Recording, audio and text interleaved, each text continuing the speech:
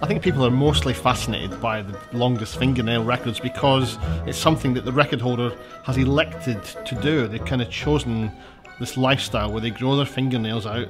Can take them 30 years, you know, eight meter long fingernails.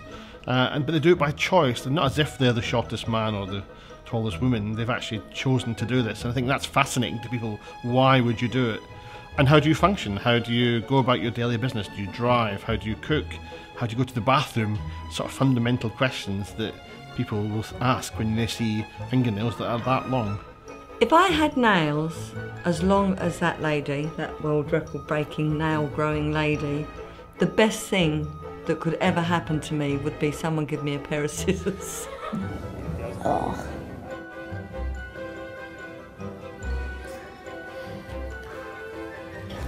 It's just really, really disgusting. Lee Redmond's one of these really, really iconic record holders. She's the one I remember from when I was a kid. Um, from 1979, she's been growing her nails. She hasn't cut them since then, and just looked amazing. These huge, long, arcing talons, and not twisting, not twisted like um, Sridhar Chillal of India, who had the record. Remember him with the very, very long, hard thumb. For her, she was very clear that it was like a, a defense mechanism almost. It was something that she owned, something that she can control. It was a bit like a cage, she said. Uh, which she felt protected by these nails, which is interesting.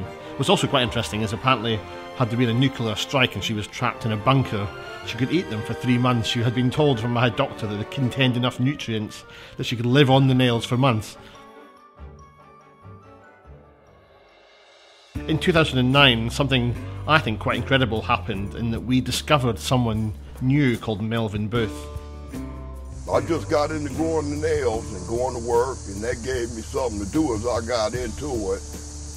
You know, like people have a hobby. You know, I didn't know what was coming next, but that was my start. Uh, and what's amazing that we hadn't discovered him for so long because where had he been with these long fingernails?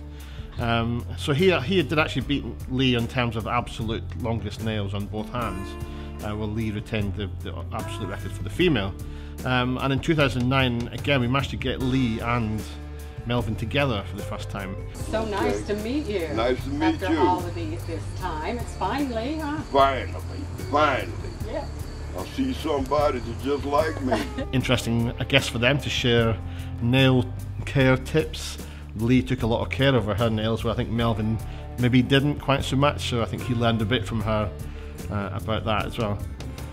Sadly, Melvin died later that year, but uh, he was immortalised, and I think one of our greatest photo shoots I think we've ever done. It's, it's a stunning, stunning photograph, uh, and I'm glad we're able to get them together for that amazing shoot. There was something particularly unique about um, Lee's fingernails because they were quite beautiful. They had this sort of stunning look. Um, and she sadly lost her fingernails uh, in a car crash a couple of years ago, which um, must have been the most horrifying thing for her, having lived with these all her life. I just seen this black blur and then this horrible crash. And um, I heard fingernails snapping. The first thing I spotted was a fingernail, and I just, oh, and I kind of started to cry. There's one of my fingernails. And uh, the sweet lady picked it up, and then I told her that they were a Guinness World Record. This is the fragments left off of my fingernails. Um,